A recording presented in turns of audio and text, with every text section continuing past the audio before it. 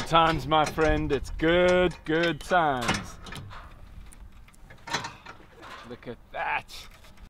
Beautiful place uh, in the middle of, uh, in the top middle part of Namibia.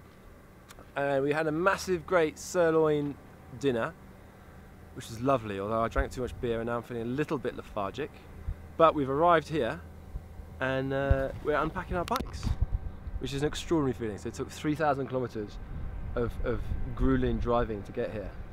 So um, that's it, we're excited.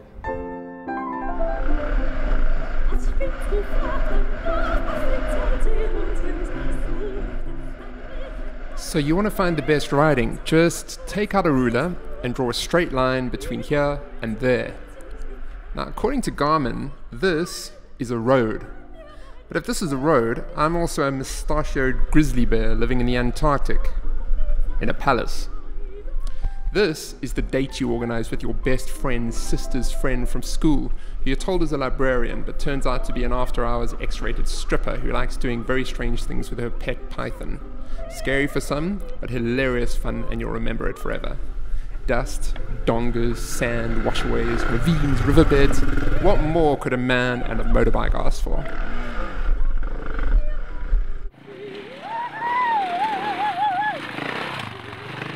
That's Tom giving us an idea of what he thinks of our first day's riding. And here comes Mike. Now, the big band's done plenty of this before.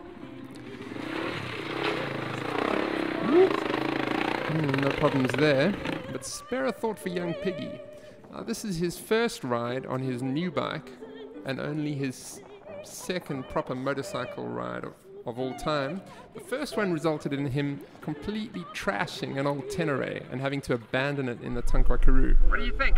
What do you think? I'm loving it, Yara. Jeez, so easy compared to that fucking Tenere. Cruising it, except for that bit. Cue the sad music. No. Three hours in, I'm in front and I pass a remote Himba village with gaping children and lots and lots of rocks. Oops, wrong turn. Wait, what's that? One times KTM parked up on the side of the road. Tom looking forlorn. What now? Disaster. That's what. When a KTM side stand switch goes belly up, you don't just cut the wires and carry on. No, no. This is like a Monty Python style trick question, and there's no right answer. Now, if you don't know any better, KTM and their eternal wisdom have a side stand switch that works off little magnets with little chips glued into the side stand, and there's no ways you can just cut the wires. So um,